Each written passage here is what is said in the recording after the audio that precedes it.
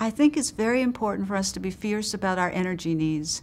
Um, one reason why I wrote this book, when I was writing the book, Positive Energy, I had an energy crash myself. And it wasn't something that I expected. I had been teaching people to trust intuition and build energy, traveling around the country, giving workshops, and yet I was ignoring the signs of, of chronic fatigue in myself.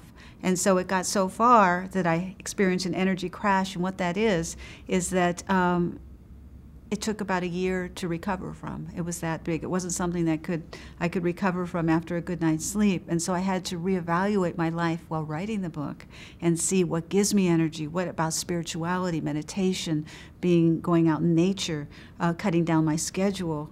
And so I relearned that as I wrote the book. And so I want to be fierce about my energy needs, and I want to encourage everyone not to wait until you have an energy crash to reevaluate your life. You know, I'm telling you this because I'm very stubborn and I waited until the last moment, but I hope you don't do that. I hope you can stop in the here and now and say, My energy is precious. I'm going to start honoring it today.